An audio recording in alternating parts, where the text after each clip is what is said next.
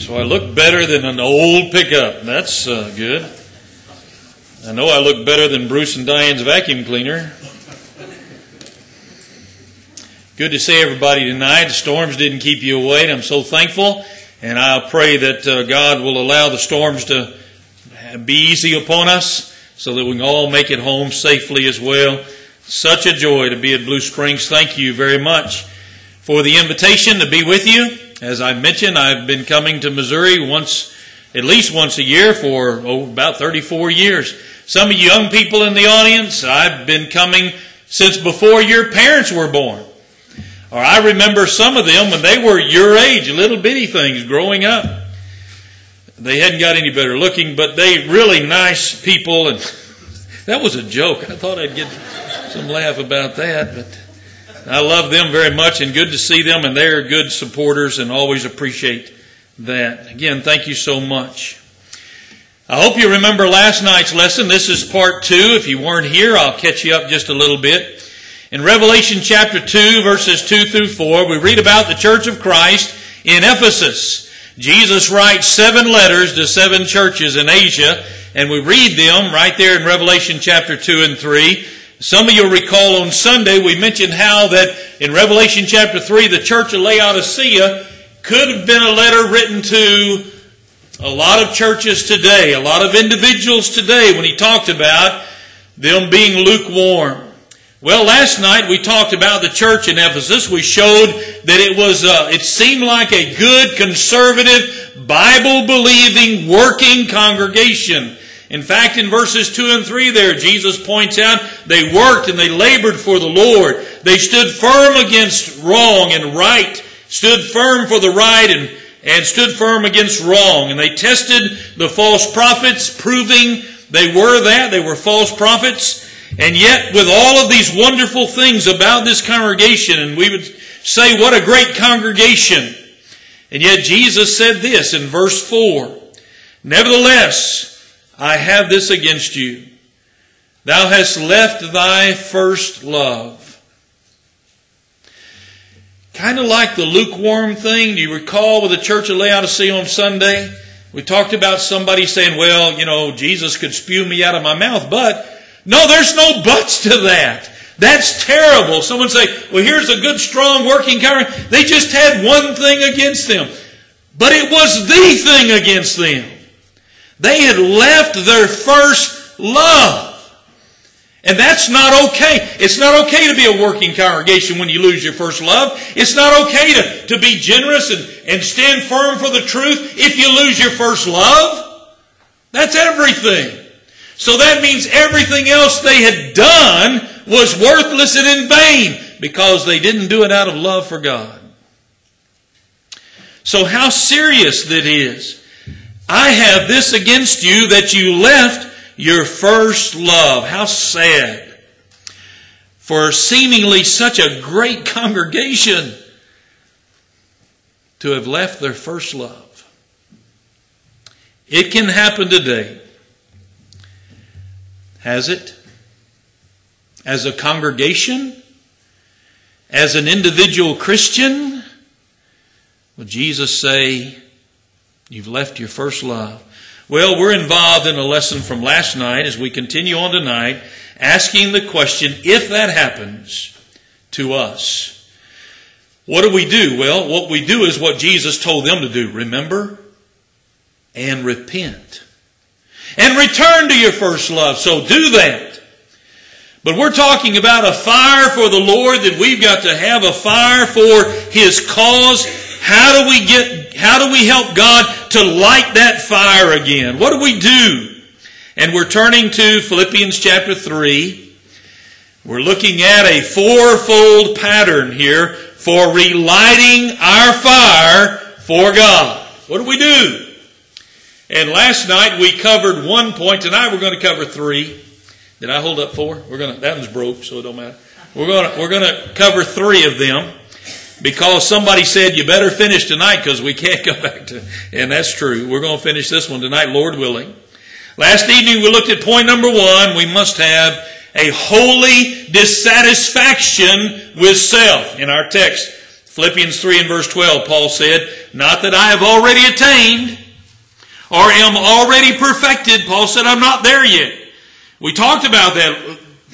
The great apostle Paul, and yet Paul said, I'm not there yet. And what we've got to guard against is when we can get to the point where we say, well, I've arrived. I'm, I'm where I need to be as a Christian. I don't have to do any more. I, and again, that always happens when you do what? When you start comparing yourself to others. And we always know just exactly who to compare ourselves to, don't we? Oh, well, we don't do what they do. You know, we're not like them. Our kids aren't like them. And we think God compares us like that, and He doesn't. When we compare ourselves, we can get to the point where we say, Well, I've arrived. Paul said, I've not yet arrived. I've not yet attained. I'm not there yet. He wanted to continue to grow. And that's where we need to be. Have you already attained? You already there? The answer should be no, I'm not there yet.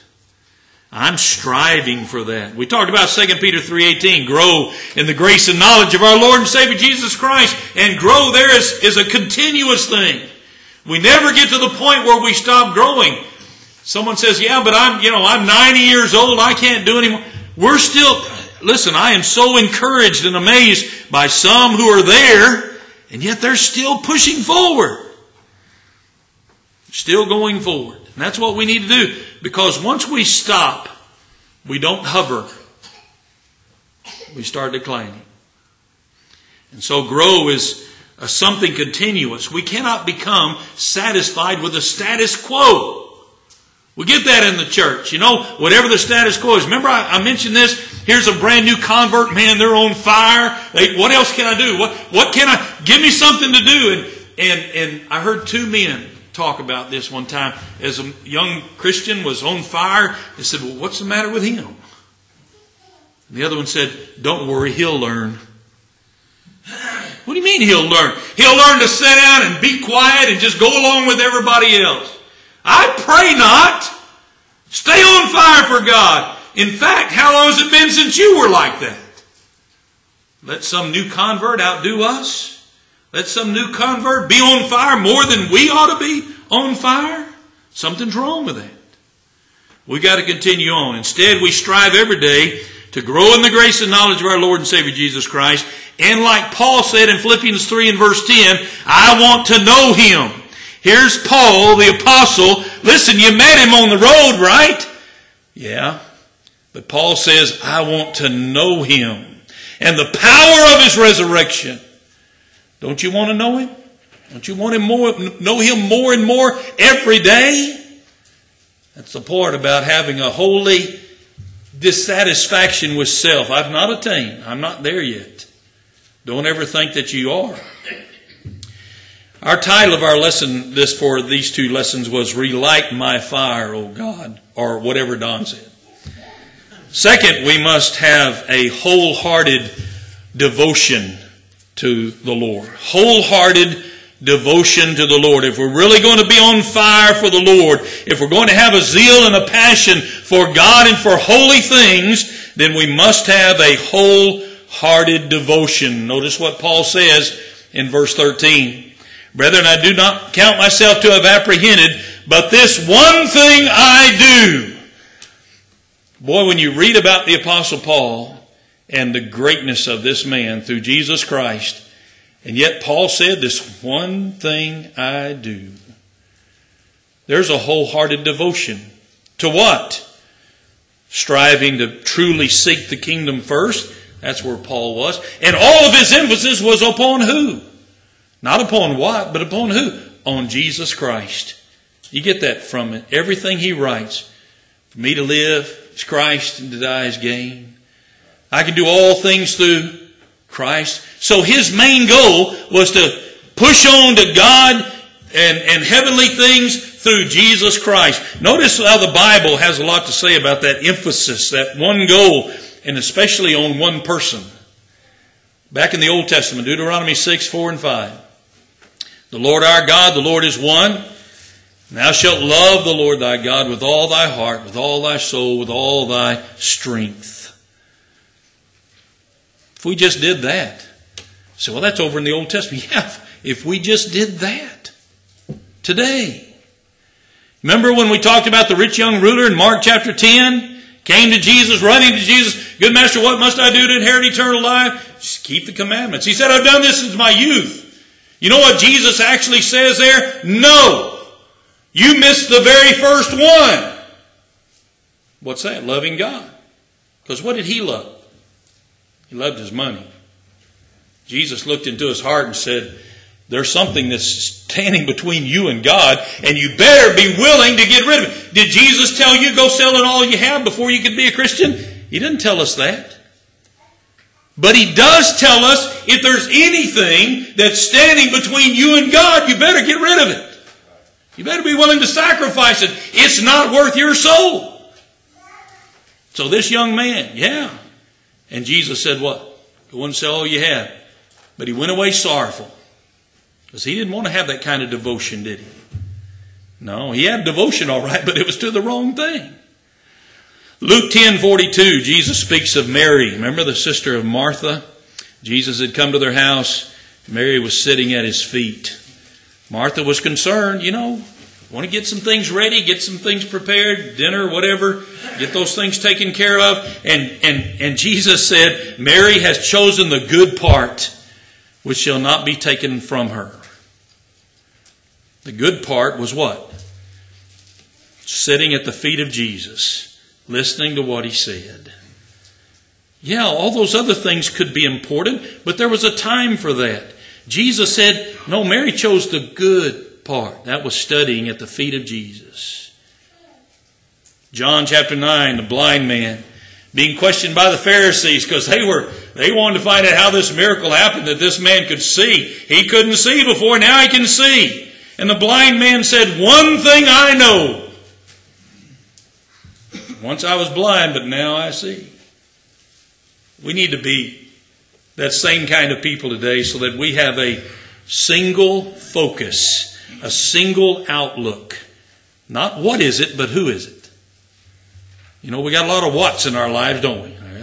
What about this? What about that? What about a single focus, a single outlook on who? Jesus Christ. One of my favorites, Psalm 27 and verse 4.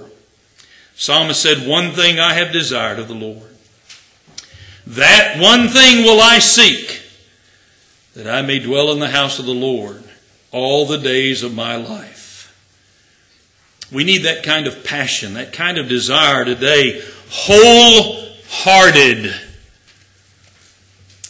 What does that mean? I think it may be, you know, we get a lot of new words today uh, that aren't even in our dictionary, you know, and, uh, but what about this word? This isn't a new word. Do we know what it means? How about this? How about putting everything else aside for a change? What usually happens? Oh, well, I got a lot of things, you know, I got I got a dog, I got a, something this, I got that, and we put everything else. We put we put the Lord and His worship and His study and those kind of. We put those things aside because we got a lot of things out here. How about putting those things aside and put Christ first for a change? How about putting everything else on the back burner instead of the Lord and His cause? Is that wholehearted? That would be wholehearted. Wholehearted devotion to God and holy things. Matthew 6:33, you can't get much more wholehearted than this, can you? Seek ye first the kingdom of God and his righteousness. And all these things, all what things? You just got through talking about all the things the Gentiles fret and worry about, food, shelter, and all those things. Jesus said, You seek me first, kingdom of God and his righteousness, and all these things shall be added unto you. I believe that wholeheartedly. Do you really have the kingdom, God, Jesus, your relationship with Him as the goal in your life? Goal oriented. We want to set a goal, right? We want goals. Well, where's Jesus fit in on your goals? You know, we can we can become devoted to so many things it tears us apart, doesn't it? You know what I'm talking about. We all get there. We get so divided when we put all these things into our lives. Yes, there's a lot of things in your life, in my life. There are lots of things, but we can't let them divide us from our wholehearted devotion to Jesus Christ. We can't.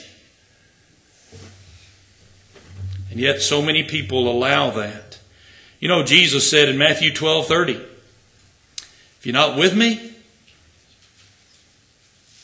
you're against me. And in Mark 12 in verse 30, love the Lord your God with what? All your heart, all your soul, all your mind, all your strength. We talked about it Sunday. Is God pleased with a, with a part of your life? Just, just give me a part. Just, just throw me something, just a little bit here and there, and God will be pleased with that. He never has been, and He never will be. It's first with God, or it's nothing. Well, yeah, when I, there's a time in my life I'll get there, but I'm not there yet. Are you striving for it? Remember, James said in James 1 and verse 8, we're not to be double minded. What happens when you're double minded? He says you're unstable in all your ways. It's like the man on a ship, and he doesn't quite have his footing, and for a while he's over here, and then for a while he's over. And that's the same way a lot of people are with the Lord. For a while, yeah, I'm, I'm on fire. I want to be for Him. And then in, the next day, it's over here, and then we're back over here, and then we're back over here. And you see why James says he's unstable in all of his ways? That's what happens when you and I get double minded. When we take our mind off the goal the goal of Jesus Christ. That's what it means to have a wholehearted devotion to God. Listen to 1 Corinthians 7:35. Paul wrote, "And this I say for your own profit, not that I put a leash on you." This is New King, King James version. But for what is proper, and that you may serve the Lord. Notice this. You may serve the Lord without distraction. Who's he talking to? Man, I got more distractions. You do, don't you? There's lots of them. And yet, Paul said, I want you to serve the Lord without distraction. We must make sure that we get to heaven without distraction. We cannot be divided among many things. We must have a wholehearted devotion Yes, there are things I've got to take care of in my life. But you can look in your own heart. But yet I have a wholehearted devotion. Doesn't mean I can't do something else. There are lots of things I must do to be a good husband, a good father, all these things, be a good Christian. Are things I must do, but it all revolves around Jesus Christ and what He wants for me. Relight my fire, O God. Paul said there's a third part, and that is an upward direction in life. Not only do we have a holy dissatisfaction with self, and by the way, that's not talking about self esteem. You know, you start talking about people say, well, you said I'm not supposed to have self esteem. That's not talking about that. Just read what Paul says about it a holy dissatisfaction in what I am. I've not arrived yet. I'm still pressing on. I think we sang that song the other night. Not only that, but a wholehearted devotion to the Lord, but we must also, thirdly, have the upward direction in life. Upward direction.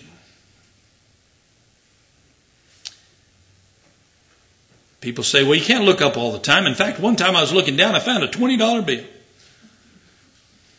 Sometimes I'll look up and I trip or step on a snake, Becky.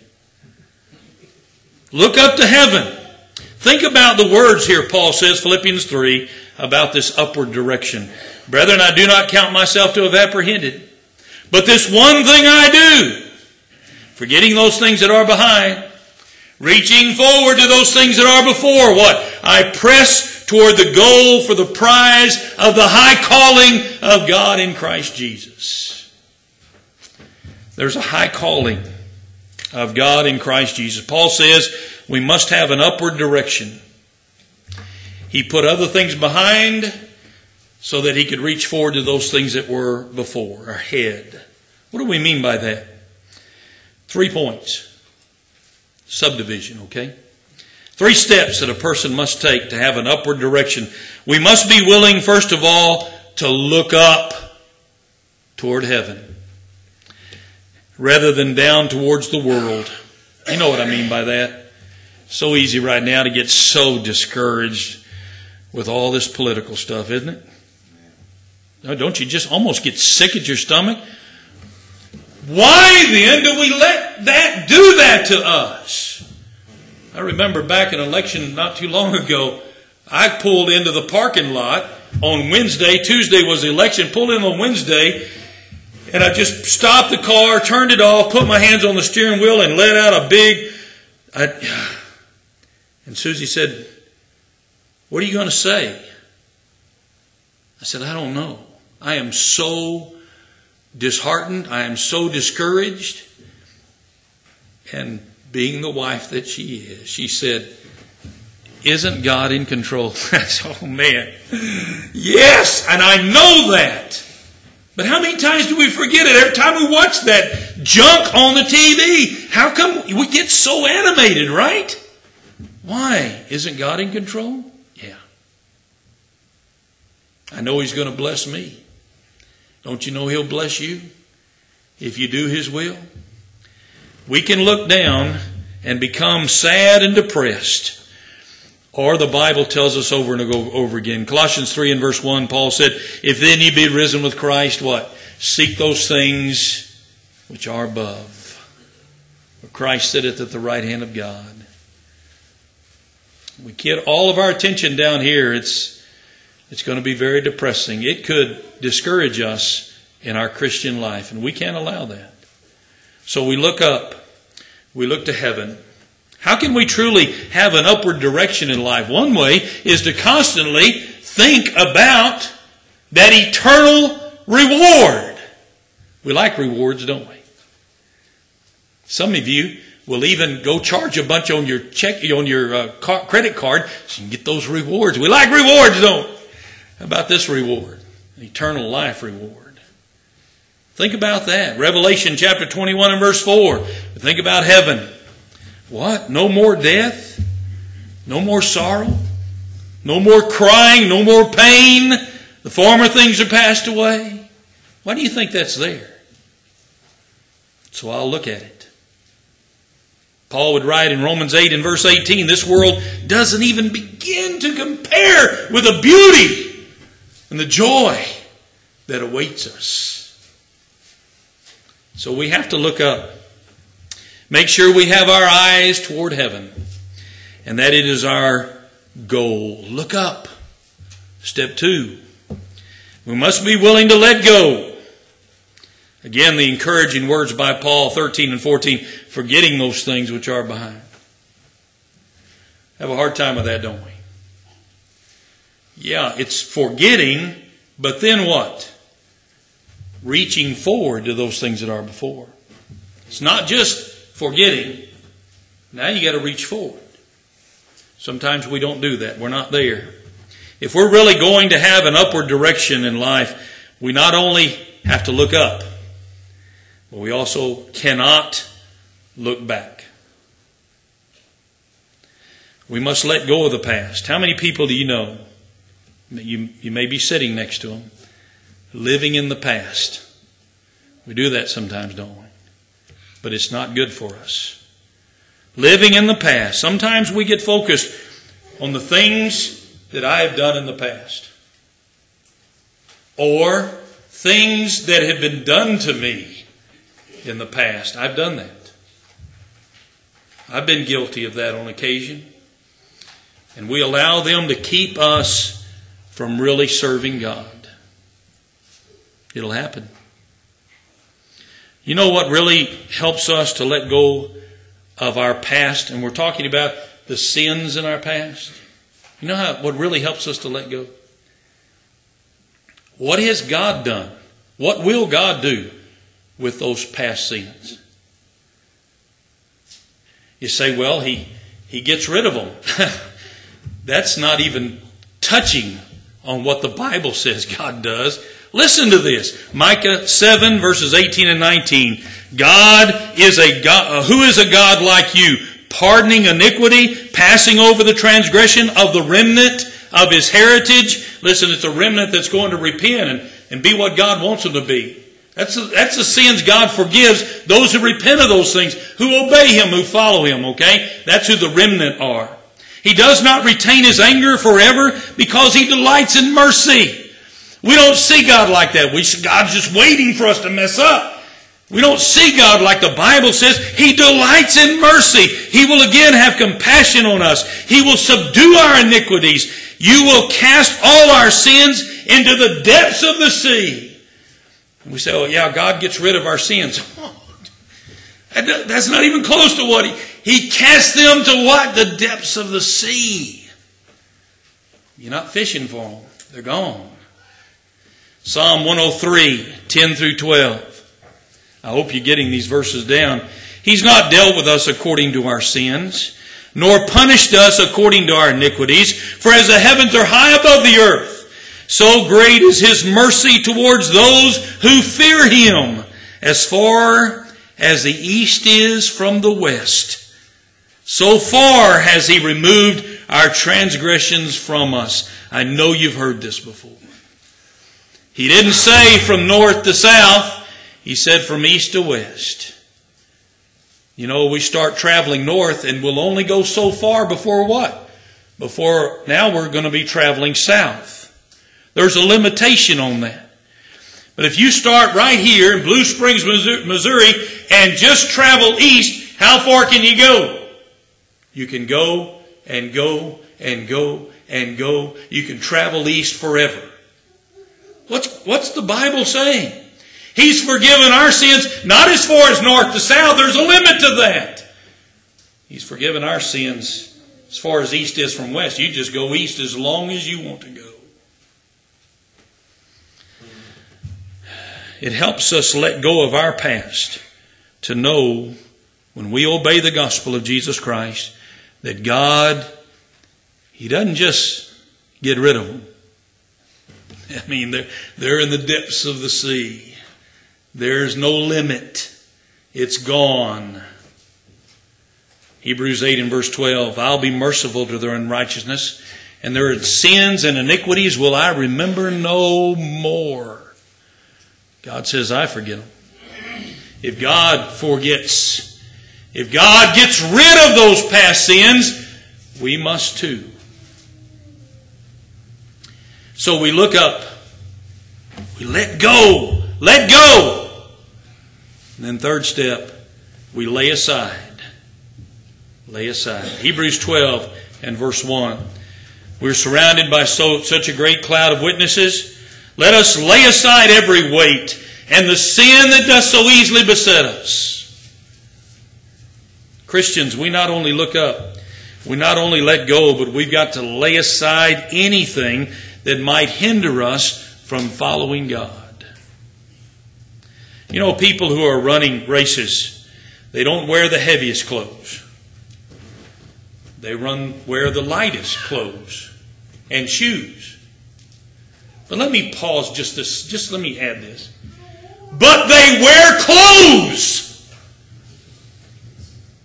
I get tired of the world telling Christians, no, if you're going to go run or something, you got to get naked. You got to take off all your clothes. It's ridiculous. Oh, but you got to be streamlined. I'm going to say a name here. Many of you are going to go, Some of you go, oh yeah, Flojo. Flojo, she couldn't make up her mind she wanted to wear clothes or not. So she wore one leg with, with clothes on it and the other leg was bare. And I just wonder, when she was setting all those records, was her, was her leg with clothes on going a little slower than the leg that was naked? Uh, you know, I don't understand that. Young people, don't let these people tell you when you run in races, well, this is how you got to dress. Let God tell you how to dress. When it comes to racing, you wear lightweight. You don't wear the heavy stuff because it can be a hinder. Well, the idea here is that sin is the weight that what? It causes us not to run the race the way God wants us to. Not the best we can. Therefore, we must lay aside every weight and the sin that does so easily beset us. Maybe, maybe you don't have the passion for Jesus that you ought to have because there's sin in your life, in your heart. And that's the hinder. After all we talk about and all the Bible says about how God takes it away, removes it, how can we not allow Him to do that by doing what He said? I tell you this that if there is sin in your life that has not been taken care of by the blood of Jesus Christ, I guarantee you that you will never, never, never be where God expects you to be. And you won't make it to that finish line with God. Lay aside your sin by repenting of that sin, making it right before God so that you can run, the New King James says, with endurance the race that has been set before you. Relight my fire, O God. Fourthly, we must have an inward determination. Here's a child of God who perhaps finds himself he doesn't have the fire for God that he knows he needs to have. He's lukewarm. So what does he do? Repent of those things. Now what? Well, have that holy dissatisfaction with self. I've not arrived. Have that wholehearted devotion, one goal, one meaning in our lives, looking to heaven so that we can put our focus where it belongs, and we must have an inward determination. We must decide I'm going to serve God, and nothing is going to stop me. And the devil says, Oh, yeah? That's a challenge to him. He's going to throw everything he can to trip you up. Listen one more time to Paul in Philippians 3:14 and notice the inward determination as Paul writes, I press toward the goal for the prize of the high calling of God in Christ Jesus. What is this inward determination? I press toward. Heaven was something for which he was actively striving. It was his goal. It was his focus. Paul was striving to go to heaven. Are we? If we're really going to have a passion for Jesus, we've got to be determined not to let anything get in the way. And there's lots of things that are vying to get in the way. And Jesus put it this way to that church in Revelation chapter 2 and verse 10 You be faithful unto death, and I'll give you the crown of righteousness. We must be faithful to Jesus in every way, even to the point of death. That's the only way that we're going to know that we're right with Christ. Do you have an inward determination today? Are you really, truly, honestly determined that the most important thing in your life is serving Jesus Christ, glorifying God, and going to heaven? Is Jesus your goal? Is heaven your focus? Think again about the words of Paul we mentioned a moment ago in Philippians 1:21. For me to live is Christ, and to die is gain. I'll never forget this illustration. preacher put up on the board. For me to live is blank, and to die is blank. Well, I knew what the scripture said. I, I, knew what you're supposed to fill in. He said, now let's fill it in where a lot of people are. For me to live is my job. Well, what happens if you die? It's loss. It's gone. You don't have it anymore. You know, when you think nobody can replace you, guess what? They just did. For me to live is my car. What happens when you die? It goes up for auction. it's gone. It's not gain, it's loss. For me to live is my family. What happens when you die? It's loss. The only thing that fits so that it's gain is what? Christ. The only thing. Now, what are you erasing and putting there? Whatever it is, it's not gain, it's loss. For me to live is Christ, and to die is gain. As a Christian, if this is our goal, then we must remain faithful in every area of our life. Holy dissatisfaction with self, I'm not there. Wholehearted devotion, my one goal, my purpose. Upward direction. How important to be looking up. An inward determination. Have you got it? Are you on fire for God? I'm thinking that it's possible that there are those in our audience tonight who may be visiting with us, who maybe they're thinking to themselves, you know, I that's the kind of passion that I, would like to have in my life. I want to have that passion for the Lord. I really want to serve God. But you're not yet a Christian, and you know that in order to have this passion, this fire for God, you've got to have a relationship with the Lord. You've got to be obedient to Him. And friend, you can have this kind of relationship with the Lord if you'll obey the gospel. You can have it tonight. God will put that fire in your heart. Again, I don't light your fire. You don't light your fire. God's Word can light your fire if you'll obey Him. Maybe you're asking, how do I do that? Just like the day the New Testament church was established. You read about it in Acts chapter 2. Peter preaches that sermon. God had made the Lord Jesus both Lord and Christ, but you've crucified Him. They were pricked in the heart, Acts 2 and verse 37. Men and brethren, what shall we do? Peter said, Repent and be baptized, every one of you, in the name of Jesus Christ, for the remission of your sins, and you'll receive the gift of the Holy Ghost. 3,000 of them obeyed the gospel, were baptized. And verse 47 says, And the Lord added them to his church, his body, his saved people. You know, if you ask us today, what do I need to do? There's a lot of answers out there. And one of the most frequent answer is, well, just accept Jesus Christ as your personal Savior. Say this prayer, ask Him into your heart, and He'll save you. But what you need to do is open up your Bible and say, that's great if that's what the Bible says. Does the Bible say that? You'll not find that anywhere in the Bible. It's not there. Wait. Millions of people are told that all the time. But it's not in the Bible.